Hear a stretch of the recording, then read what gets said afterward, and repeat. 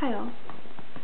So um, my last video I had said that I was going to make a video on kids who were made fun of, and uh, someone had sent me an email shortly afterwards um, talking about, I'm, I'm not going to get into specifics, don't worry, but just basically talking about they were having some issues and they wanted some ideas on how to cope. So uh, this is going to be a video on how to bully-proof yourself. Now, um, if 99% of the time, if someone is making fun of you, they're going to zero in on some aspect of your individuality, something that makes you different from the quote-unquote norm, and they will say it's a negative trait. Now, let me be clear. There is absolutely no aspect of your individuality that, um, um save for uh, something that's destructive or something that is um, submissive, that is a negative trait. It's either neutral or positive.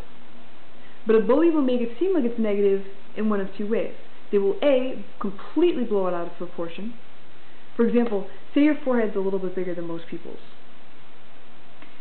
That's a neutral trait. That's just who you are.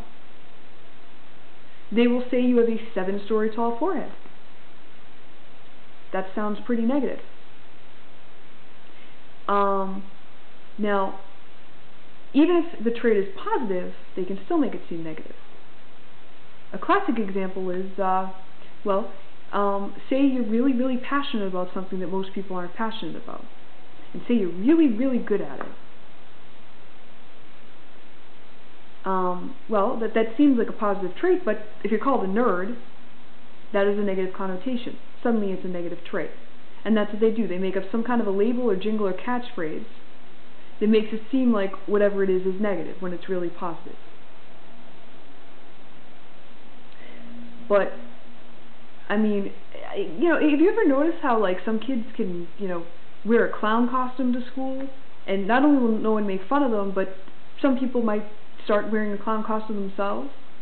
And yet, if you do anything that's even the least bit out of the norm, all of a sudden, they fly at you like a nest of hornets. That is because the reason that they are, what they are saying they're making fun of you for is not the reason why they are making fun of you. The reason why they are making fun of you is because you're coming across as being submissive. And the way that you do that is, um, do you shuffle your feet when you walk?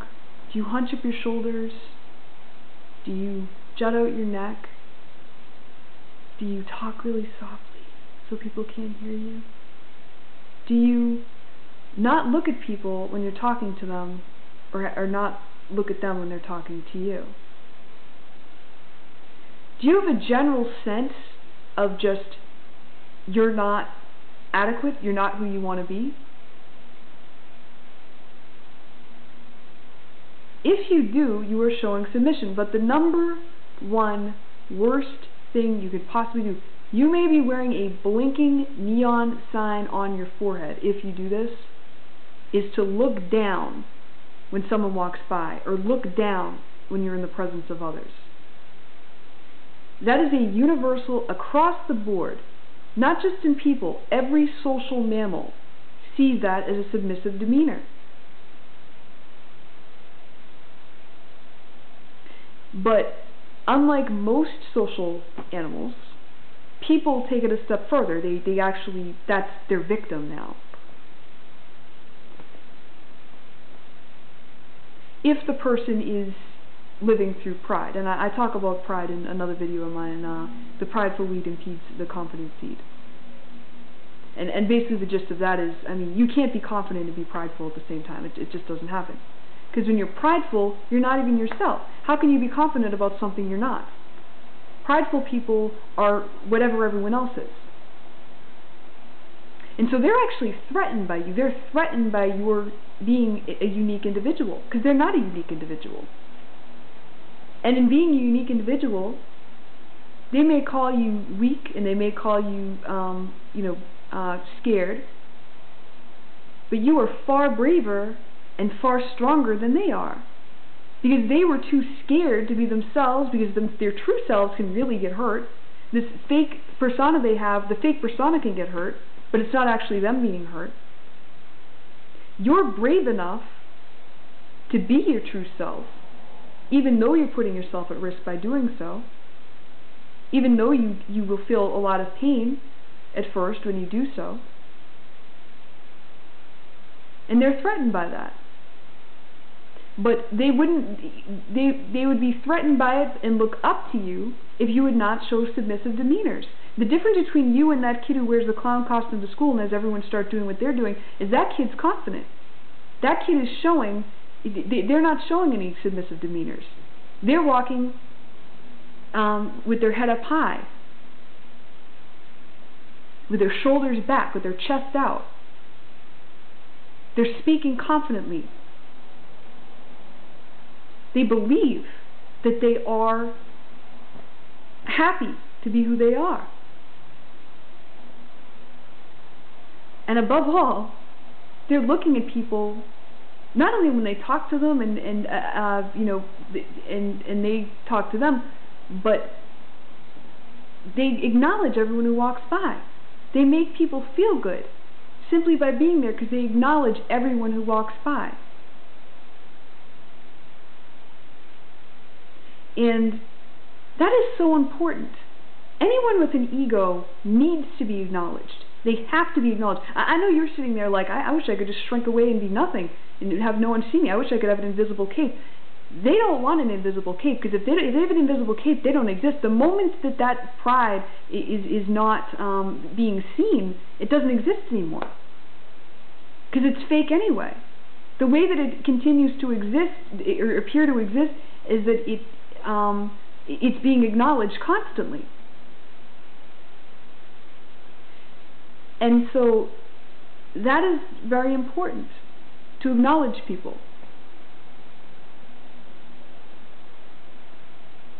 But don't be afraid to be who you are. I can't say that enough. I cannot stress that enough. And you know, you can look in the mirror uh, or have someone film you, you know, to see how how you're um, if you're doing these things. I can assure you, you are, because if you weren't, you would not be being picked on. But if you just need confirmation, I mean, you know, be my guest.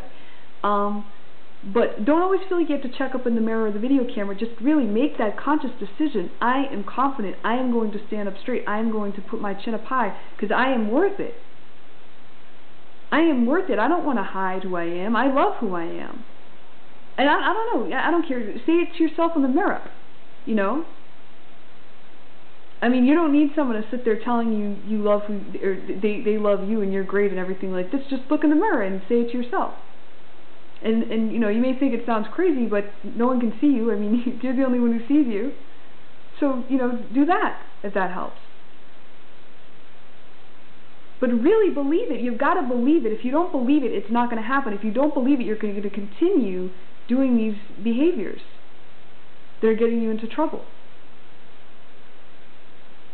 But, um, you know, feel free. I mean, if anything that I said didn't make sense in this video, or, or, you're confused, or you have a situation, you know, that's specific that you don't think is applicable to, this video, or whatever it is, feel free to email me. I, I, I want to help you. No one should feel bad about who they are. You're beautiful in who you are. You should be happy to be who you are. You shine when you are who you are. That's what everyone wants to be as an individual, because when you're an individual, you're free.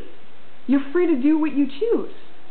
No one is telling you what to do. When you are this person who's conforming to everyone else, everyone else is telling you what to do.